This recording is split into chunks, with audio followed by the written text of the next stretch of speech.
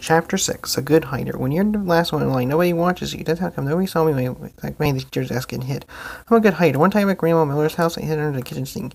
That made a growly sound and sprung out her. I'm not to do that anymore. Anyway, so I went behind the teacher's desk for a while. Then I saw a fair place to hide. It a big supply closet in the back of the room. I get back there very fast. I squeezed onto the bottom shelf. I squeezed right on top of the construction paper. Was, it was uncomfortable, except my head was so all bent like I do a somersault. They pulled the door mostly closed. Don't shut it all the way, though. And I mean, I said out loud. I stayed quiet for lots of minutes. Then I heard noises in the hall. Somebody came running into a big wheel seat, I think. What happened? I heard someone ask. Well, one of my little girls is lost, said the voice. Sound like Mrs. Her name is Junie B. Jones. She didn't get on the bus, so go looking for her. Then you heard some keys jingle, and again, and the door shut. I didn't come out of the closet, though.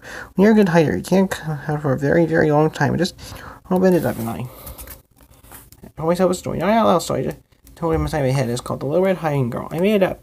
This is how it went. Once upon a time, there was a little hiding girl. Well, no, and she was a. Well, where nobody could find her, except her head was very tight. Her Rain was gushing out. But she still couldn't come out of her spot, or a smelly yellow monster would get her, and also some meanies with chocolate milk. Yeah, and after that, I rolled my eyes. First thing your eyes, my grandma does when you, you eat after dinner, he snores. And grandma said, Go to bed, Frank. That's the same thing as a nap, though. Snaps are for babies, that's why. Yeah, I didn't, so I just a little drool. And finally, uh, I heard that resting they woke up. They came out of the closet and ran right to it, and guess what? There weren't any cars in the parking lot. And there's was Sally by zero. Ooh, that was a relief, I said. A relief? Nobody doesn't feel squeezy anymore. After I went to the, cl- the closet, when I was hiding, I sniffed that smell of clay. That's why I glazed every thing in the whole world. Hey, so, see it up there, I said. The clay was on the middle shelf, so I chair to get it.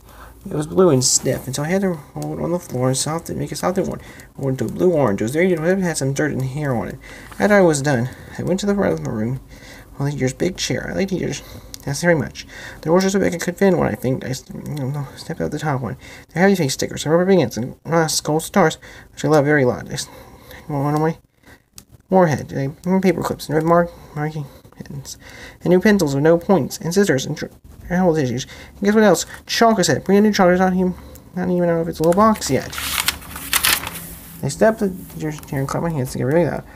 When everyone find a chair and sit down, say we're going to learn the alphabet and some reading. And also, I'll teach you how to make a blue orange. But first, everyone has to watch me draw stuff. I went to the board and drew a brand new chalk. I drew a bean and a carrot the curly hair, Jay, or wrote some O's. After that, I vowed, thank you very much, no. Then you all go out for recess, I smiled, Except we're not that Jim.